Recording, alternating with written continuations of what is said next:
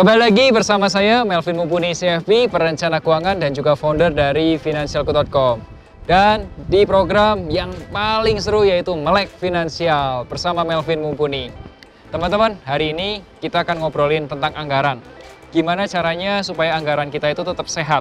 Dave Ramsey pernah mengatakan, a budget is telling your money where to go instead of wondering where it went. Jadi, dengan adanya anggaran kita bisa tahu nih uang kita itu kepake buat apa. Biasanya orang yang nggak punya anggaran itu gajinya pasti numpang lewat di rekening. Kalau kamu punya masalah gaji numpang lewat di rekening, saya sarankan kamu lihat, tonton video yang satu ini. Nah, teman-teman, teman-teman sobat finansialku di video kali ini saya mau share bagaimana cara saya membuat anggaran dan saya rasa cara membuat anggaran saya ini tidak terlalu repot. Boleh? Sebelum nonton lebih lanjut, langsung aja subscribe YouTube channel finansialku.com supaya kamu dapat manfaat lebih banyak gimana caranya mengelola keuangan, berinvestasi, dan asuransi.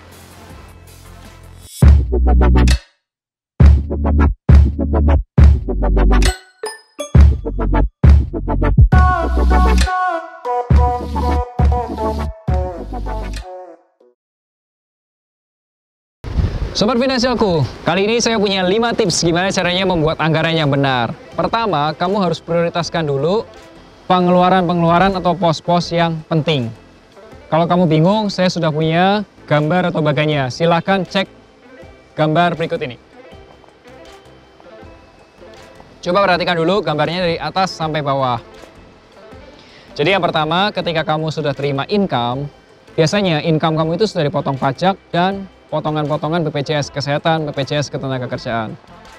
Setelah itu, gunakan income kamu itu untuk donasi.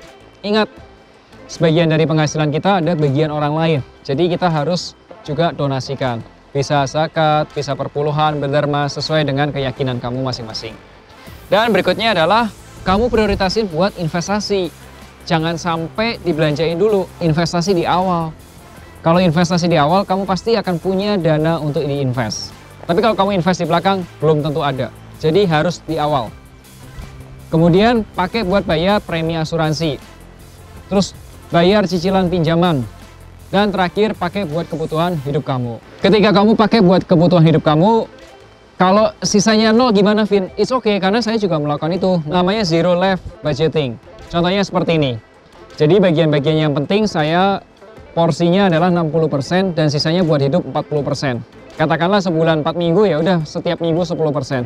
Minggu 1 10%, minggu kedua 10%, minggu ketiga 10% dan minggu keempat 10%. Sisanya ya 60% buat kehidupan atau buat masa depan. Teman-teman sobat finansialku, kamu sudah tahu kan pos-pos mana yang penting atau yang prioritas. Sekarang saya sarankan kamu buat dulu anggarannya. Kalau kamu nganggur, santai, ya kan?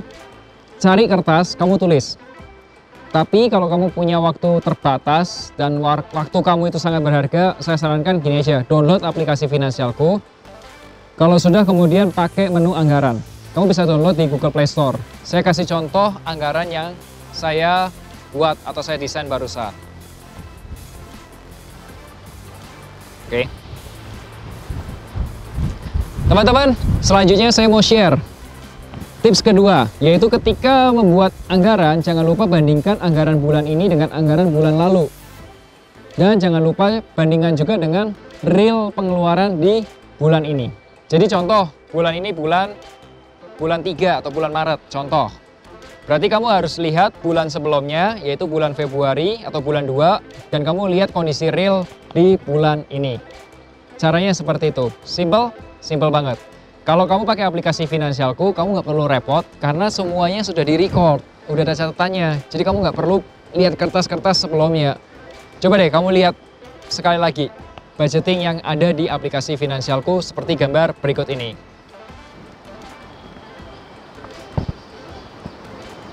Jadi teman-teman, kalau kamu pakai aplikasi Finansialku seperti gambar berikut ini, itu yang namanya anggaran adalah anggaran bulan ini. Contoh kalau ini bulan Maret, berarti ini anggaran itu adalah anggaran bulan Maret. Kalau bulan ini itu artinya pengeluaran real di bulan ini. Jadi kalau contoh ini bulan Maret berarti bulan ini artinya pengeluaran real di bulan Maret. Kemudian bulan lalu berarti satu bulan yang lalu anggaran di bulan lalu. Kalau ini bulan Maret, berarti anggaran di bulan Februari. Teman-teman, itu tadi tips kedua saya.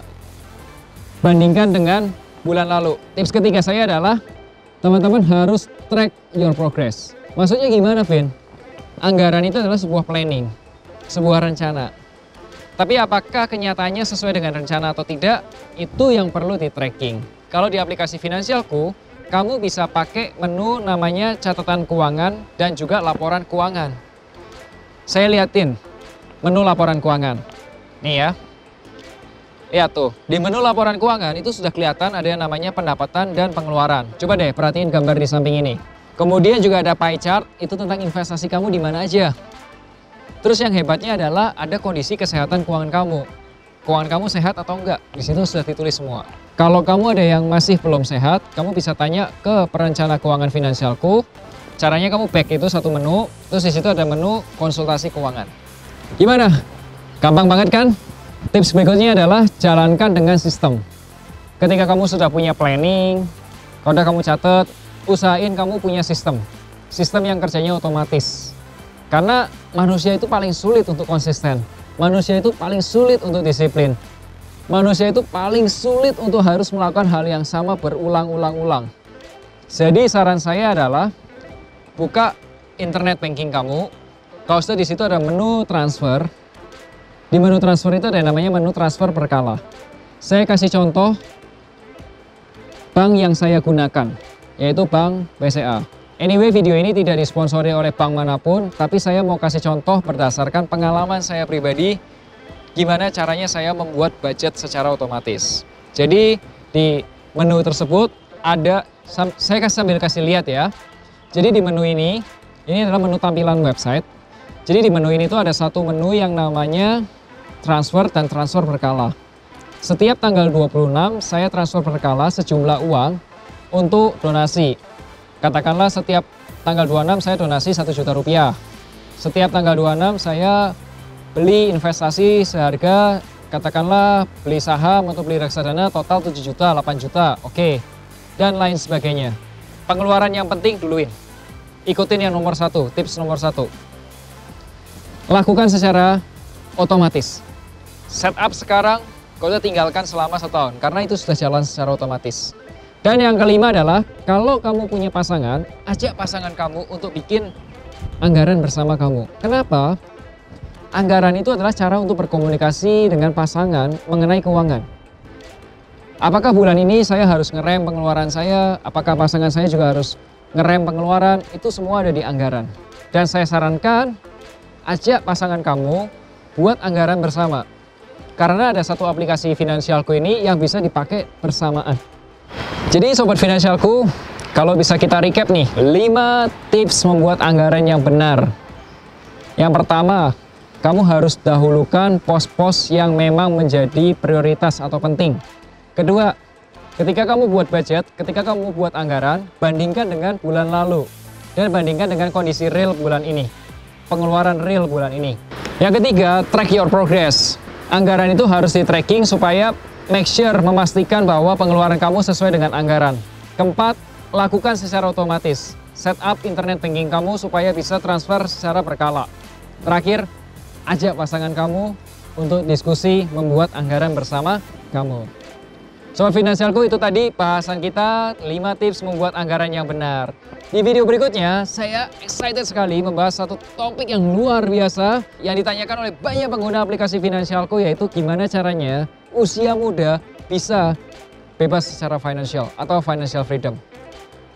Sobat Finansialku jangan lupa jangan sampai ketinggalan di video berikutnya setiap hari Rabu melek finansial supaya kamu nggak ketinggalan video melek finansialku berikutnya langsung aja subscribe YouTube channel finansialku.com. Sampai jumpa di video berikutnya. Dan akhir kata, make a plan and get your financial dreams come true.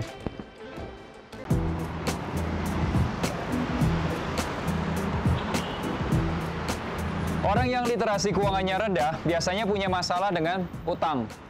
Gali lubang, tutup lubang, terus kemudian punya masalah dengan income-nya, pengeluarannya, kemudian juga korban investasi bodong, kemudian juga tidak bisa membedakan aset dan kewajibannya, bermasalah dengan pajaknya, dan juga melahirkan generasi sandwich baru.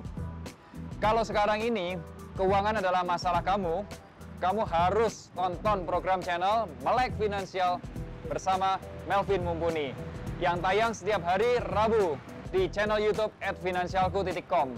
Dan jangan lupa aktifkan tombol loncengnya supaya kamu tidak ketinggalan.